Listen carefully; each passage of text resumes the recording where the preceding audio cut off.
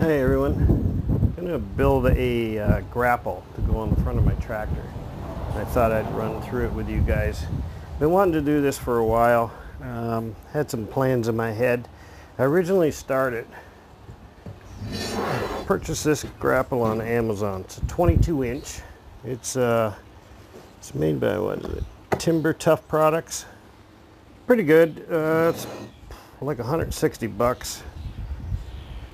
So what I was originally doing is I had a sling on here that went between the two forks and I would go up to a log, drop the grapple down, um, then have to get off the tractor and then put it around, get back on the tractor, lift it up, it would be off balance, put it back down, readjust it. It just wasn't working. There's a couple reasons why I want to use a grapple. When putting the logs on my sawmill with the forks, it's really hard to see and I'm always afraid I'm gonna you know hit the mill or damage it in some way with the forks. Putting them on with the grapple, they're, you're not, you got a lot more visibility and you're, you don't have your forks and whatnot near there. So I thought, well, I like the grapple idea, so I thought if I was to incorporate some hydraulics to it, so basically what I'm going to end up doing with this is this will go on here. This has a four inch stroke which takes this out to 22 inches and that's that's fine for the logs that I cut. I'm normally around 16 inch stuff so 22 inches is fine. If I get a bigger one I'll just I'll, I'll revert back to using the forks to put it on. So yeah I'm gonna put this on here. I purchased a second grapple so basically what I'm gonna do if you can picture one sitting here, one sitting over here, about three, four feet apart.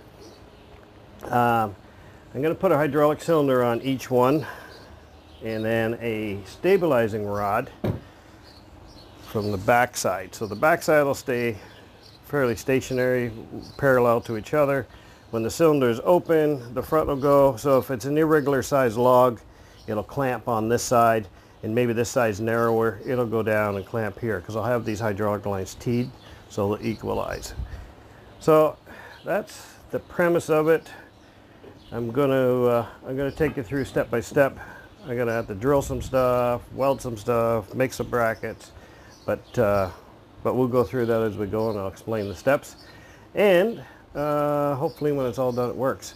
The other thing too is my tractor doesn't have hydraulics on the front so I'm going to run two hoses from the back to work off the wet lines, run them up nice and neat and tidy, have them up front. I've been wanting to do this anyways. Uh, then there's several attachments, Bobcat attachments type things that you can use hydraulics for. Uh, so I always wanted to get hydraulics up the front. So to work this, I do need hydraulics up front. So we're going to be running those two. I'll show you what I'm, I'm going to do there. And then uh, when it's all said and done, we'll give it a test run. Back in the shop, um, for ease of drilling, I'm going to take these apart, uh, just make them easier to drill, and then we'll reassemble everything all together. So let's get to it.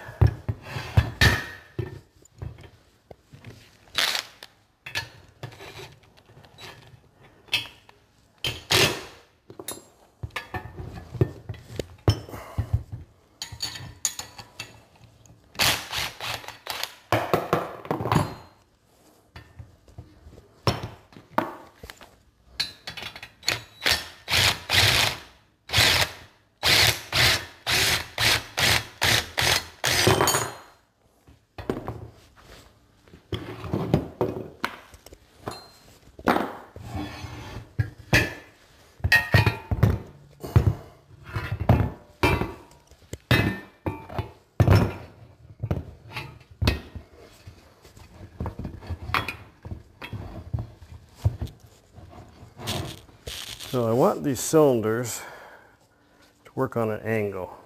From there to there. Should work just fine. And this gives you quite a uh, cantilever effect. So like I say, they will open up to 22 inches. So take these out and then re-drill those.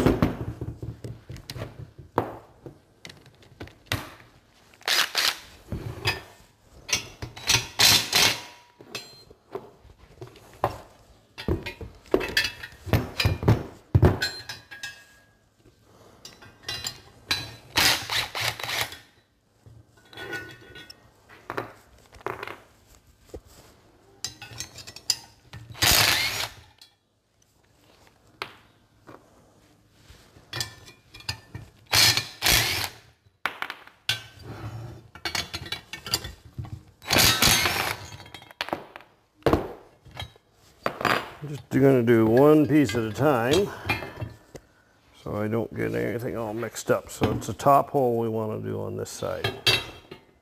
So we'll get set up in the drill press.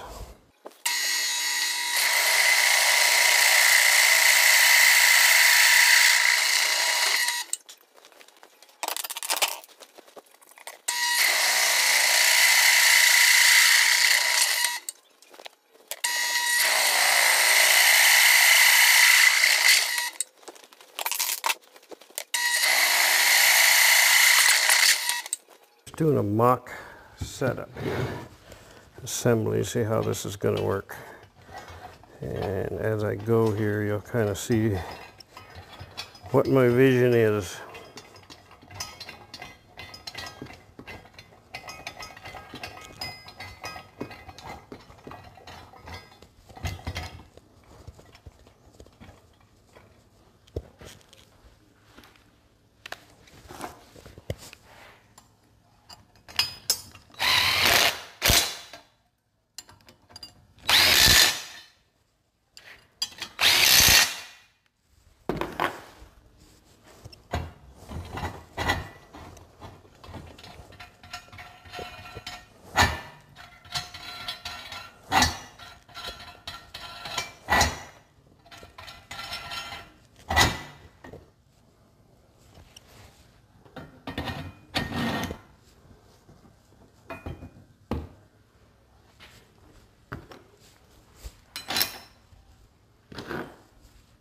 Using nylox on the end here because these uh, cylinders have got to be able to be free to move. So we'll just use nylox. Okay, so that's coming along good here now. Move this over.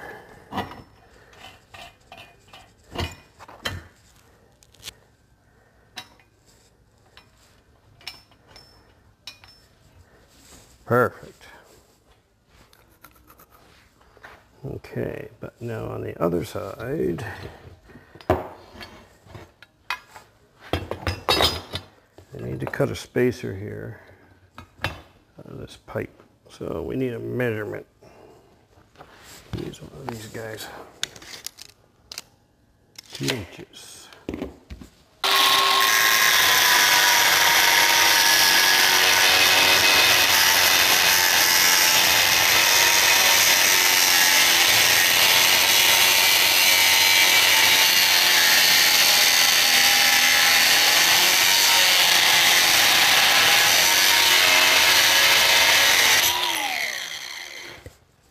Yeah, that's probably gonna be hot to the touch. So we're gonna grab it anyways. Yeah, eh, not too bad. Just take the burr off it.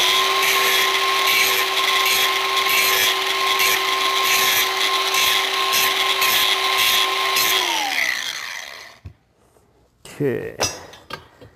In between. Beautiful. Uh, now I can tighten this up.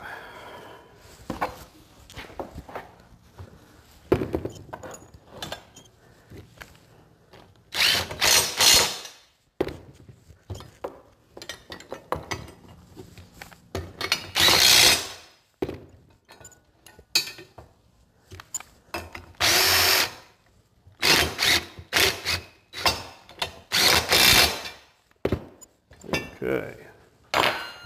Now the top bolt, I'm just going to stick in temporarily.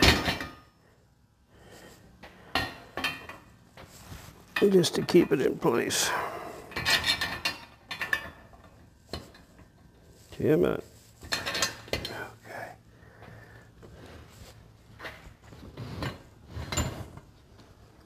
Now we'll shoot our bolt through, which is probably plenty long.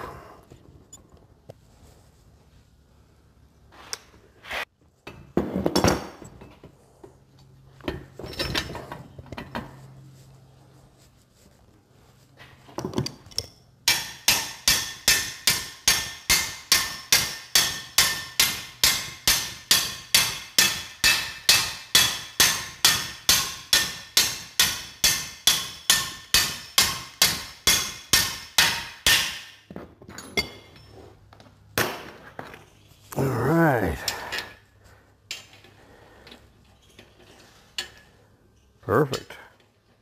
I gotta put a washer in there on final assembly, but this gives me the gist of things here. Okay. Now, take this one apart and do the exact same thing. And at that point, I'll decide how much distance I want, three feet, four feet, whatever. And then uh, we'll carry on from there.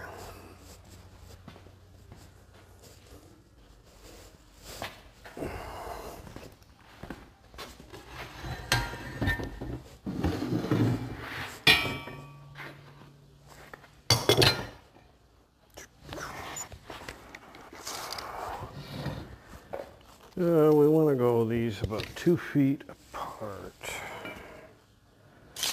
There.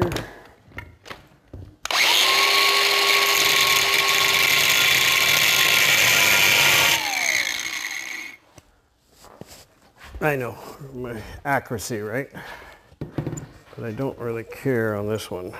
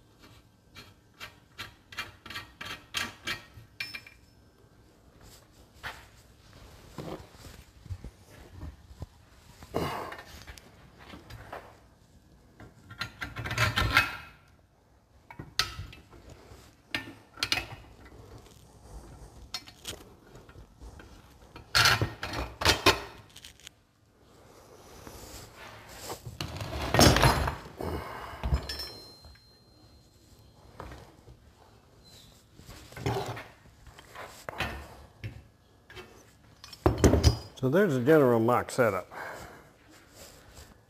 So when you put the hydraulics, boom, opens up, closes. Now I gotta figure out something for a cross beam across here and then a spot for the forks to go in so we can uh, easily put it on and off the forks without too much trouble. This is coming along really good. Really pleased with it. Okay.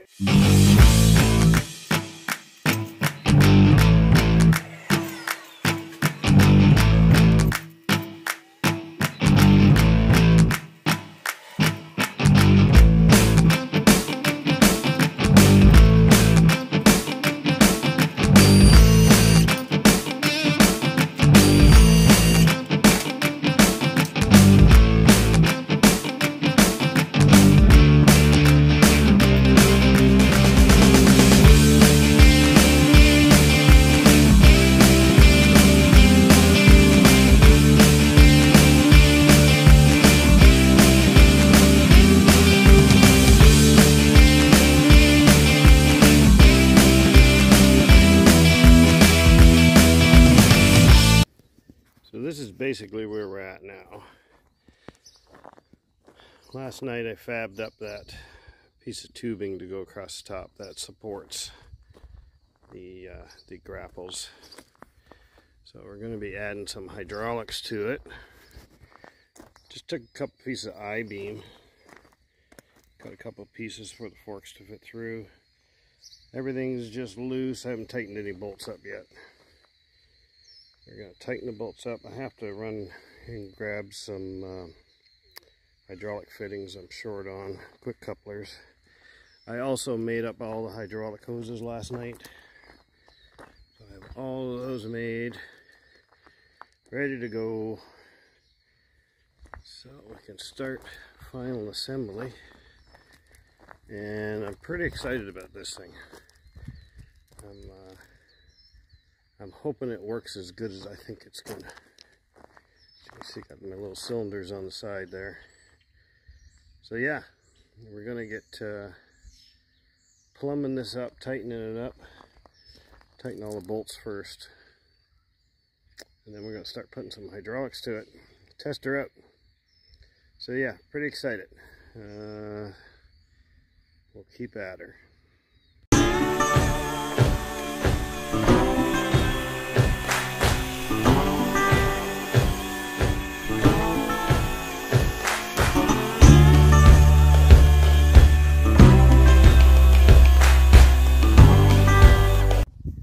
So just to do a recap, um, super happy with the way this thing works. Um, met all my expectations. This is going to be a, a real nice addition. Plus, like I said, now I've got hydraulics up to the front, right up here on quick couplers. I might make a bracket or something to mount these. But if you can see on the inside, what I did is I ran them up. There we go, right through here. Ran them up the loader. They come down out, down along here, down here, underneath, and then back out to my wet lines here. But yeah, this this thing, uh, this is going to be a game changer for me no more jumping on and off the tractor. And I, I was saying there, another reason being is, and I'm going to do a video on this in another another time, but I have a jib crane here for um, help me to roll my logs over. Let me just swing this around. So this is 360. So it swings around and I use it for rolling the logs. Now when I go to put a log on, I have to lift up over this. So I pull the pin out of here, pull this pin out right here, drop it down, and then uh, set the log on. So I have to go over top, which is a bit of a pain. But this, this log roller, uh, especially with the bigger logs, has just saved my butt because I've, I've got bad shoulders and uh, no strength overhead. So that was another reason to have this type of setup. Um, it, the loader clears that, no problem. And I can just gently set these down, these logs down.